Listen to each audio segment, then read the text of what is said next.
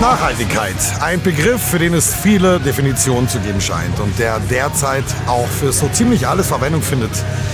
Ich bin sehr, sehr froh darüber, dass in Sachen Verantwortung für Natur, für Land, Leute, Gerechtigkeit im Allgemeinen, für unsere Zukunft und mehr endlich Bewegung ins Spiel kommt. Es scheint sich also endlich irgendwas zu tun auf dieser wunderschönen Welt. Es scheint ein bisschen weniger Irrsinn auf uns zuzukommen. Hoffe ich zumindest. Was ich leider sehr schade finde, ist, dass dieser Begriff Nachhaltigkeit fast immer nur mit Verzicht, mit hohen Mehrkosten für den Kunden, mit Reduktion von beteiligten Stoffen, mit einem gewissen Zurückstecken einhergeht. Es klingt also meistens irgendwie nach lästiger, schwerer Aufgabe, nach einer Art zurück ins Gestern zur Zeit von Oma und Opa und weniger nach hipper, very international, moderner Welt. Auf der doch am besten bitte alles und überall und immer für jeden zum coolen Preis einfach alles problemlos erhältlich sein sollte. Für mich aber klingt Nachhaltigkeit anders. Für mich klingt dieser Begriff nach besserer, nach ehrlicherer, nach gesünderer, nach spannender, nach neuer, frischer Vision. Nach dem einzig sinnvollen Weg in eine bessere Zukunft. Ich bin froh, dass einige wirklich sehr tolle Partnerbetriebe hier in Brixen, hier rund um Brixen auch, dass ich die gefunden habe, die diese Ansichten mit mir teilen. Die diese Vision weitertragen möchten und die sie mit vielen anderen Menschen auch in Kontakt bringen letztendlich.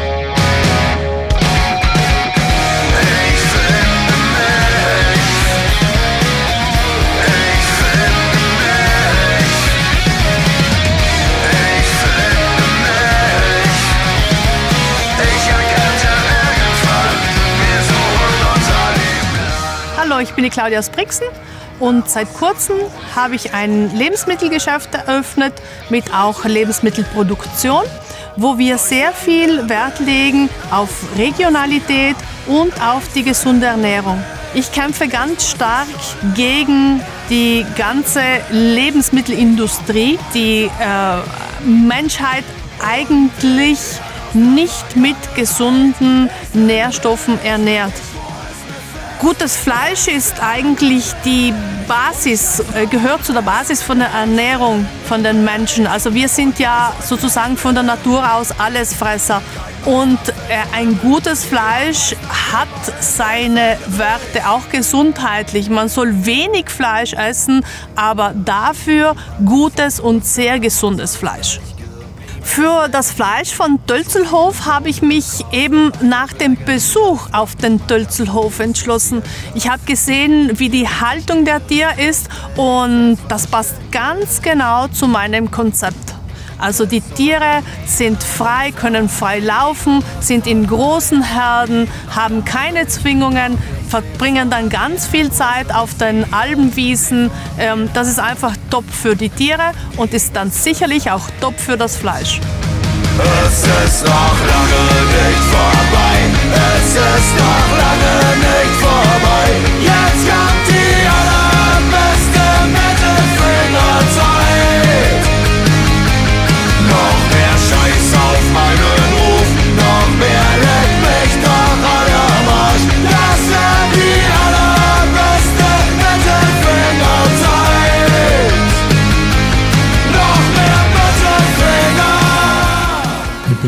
von Brixen, wohne auf den Spinges.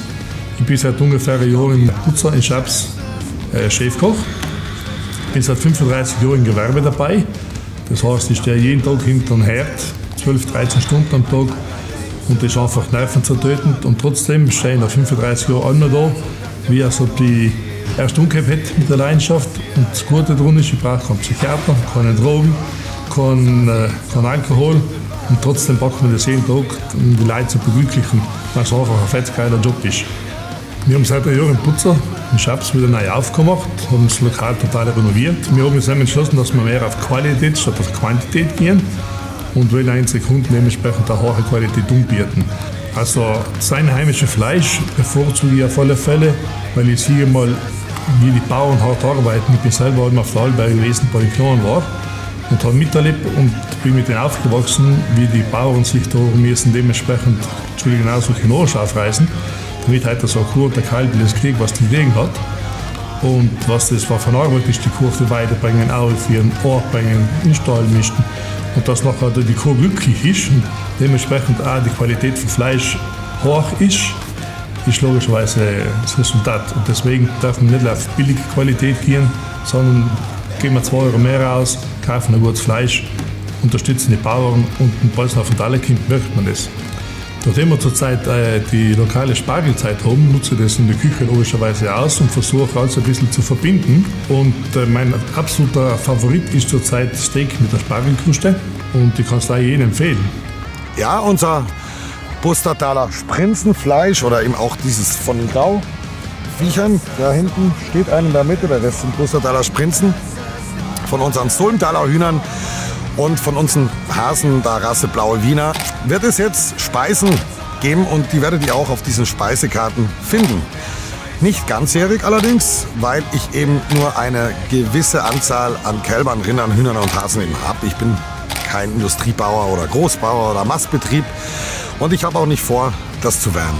Und bis auf ein bisschen Getreidemischung und Einstreu Stroh für die Tretmistanlage kommt wirklich alles vom eigenen Hof und letztlich etwas zusätzliches Almheu dieses Jahr zum Beispiel von einem befreundeten Archebauer.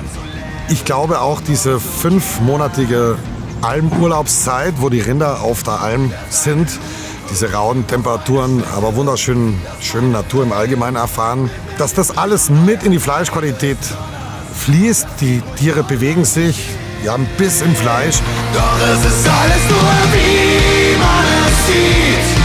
Ob jemand lieber hasst oder lieber liebt. Und wenn ich wirklich wer verstehe, wird er auch nicht sein Schwert erheben, bevor er dich wirklich kennt. Bevor er mit dir selber spricht. Mein Name ist äh, Simeone Philipp, bin 42 Jahre alt und bin äh, Chef der Pizzeria Trametsch in Brixen-Milland. Für die Pizzeria schon seit 25 Jahren mit meiner Frau Verena. Gutes Fleisch macht für mich aus, wenn es äh, geschmacklich gut ist, wenn es äh, eine schöne Farbe hat, wenn die Konsistenz passt. Das macht für mich ein gutes Fleisch aus. Ich habe mich für den Tölzelhof entschieden, weil ich unsere, unsere Bauern da ringsum unterstützen möchte. Und ich glaube, dass wir leider deswegen eine Nachhaltigkeit haben und auch der Transportweg von äh, sagen wir, Luftlinie von einem Kilometer äh, sagt schon alles, dass noch regionaler kann man nicht äh, zusammenarbeiten mit dem Bauer. Regionalität ist für uns allem schon wichtig gewesen. Ich glaube, es ist äh, wichtig zu wissen, was die unsere Gäste auf dem Teller haben, äh, wo es herkommt und wie es produziert wird. Mein Lieblingsgericht ist das Filet. Das war sicher, sicherlich das Highlight wird auch von der Karte. Weiters bieten wir eine tolle Pizza an mit einem äh, guten Rostbeefform, eine Mozzarella von der Primi. Und ich denke mal, das werden die Highlights werden von der neuen Karte. Warum ich glaube, dass diese Art der Landwirtschaft Zukunft hat? Ich glaube, dass diese Unabhängigkeit von so ziemlich allem einen wahnsinnig großen Mehrwert schafft. Es schafft Krisenunabhängigkeit. Dann die sichere Planbarkeit durch eigene Futtermittel und die exakte Bedarfserfahrung macht es eben auch ein bisschen einfach. Die Zucht und das Halten, wie gesagt, von diesen robusten und altbewährten und leider auch vom Aussterben bedrohten Zweinutzungsrassen, wie eben die Bussertaler Sprinzen oder die Sulmtaler und eben diese blauen Wiener Hasen, gewähren einfach enorm viel Tiergesundheit. Und äh, natürlich, wenn man die Tiere nicht extensiv hält, hat man auch sehr, sehr selten, im Optimalfall überhaupt nie, den Tierarzt im Haus. Und Nachhaltigkeit ist für mich also erstmal schöne Verantwortung. Sie steht für mich für den Erhalt und Ausbau positionsbezogener Produktion. Sie steht für Umweltschutz, letzten Endes natürlich für Brauchtums- und Traditionspflege, für Regenerationsfähigkeit der jeweils vorhandenen Ressourcen, für weniger irrsinnige Kilometer und äh, Milliarden an Seemeilen wahrscheinlich, Nachhaltigkeit steht für mich für besseres Menschen- und Tierwohl, für die Vielfalt der verschiedenen Regionen der Welt.